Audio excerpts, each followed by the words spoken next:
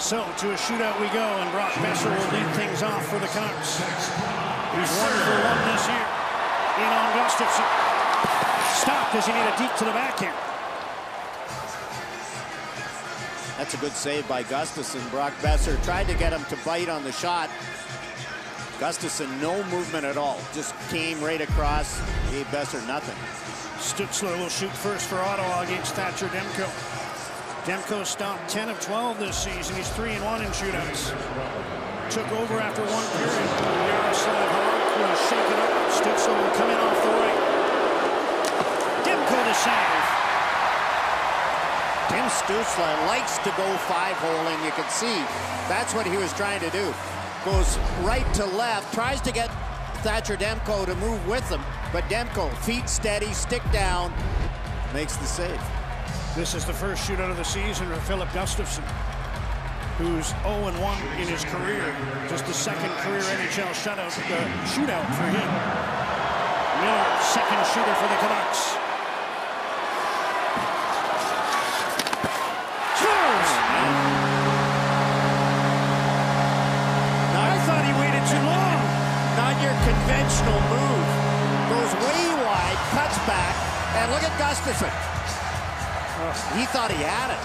He should have had it. and you can see his left leg just not tighten up to the post.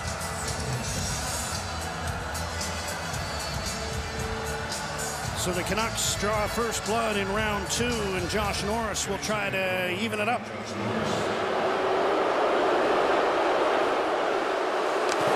Shot it wide. Demko maybe got a little piece of it. Well, you can see Thatcher Demko. He's so compact with his movement. He's a big guy and just doesn't move. And you can see Norris is trying to go over his shoulder. Thatcher doesn't give him much room, and Norris just fires it wide. Elias Pettersson can end this right now. To extend the win streak to seven games. And he's stopped by Gustavsson. And Ottawa still has life. And you can see Elias Pettersson, he just mishandled that one. He gets in, goes to the forehand. You can see the puck bouncing. And look at him look at his hands. He knows he just mishandled it, and it goes wide.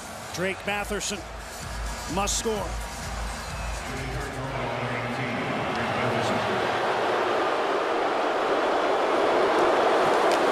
And he does. There will be a as Batherson put it over the left shoulder of Demko in round three. And you can see a right-hand shot comes down the left side. So he's got a better angle for the glove hand just above the catching glove of Thatcher Demko and keeps the Senators alive. Conor Garland, round four shooter for Vancouver. Shooting four for the Vancouver Canucks. And he'll come off the left as well.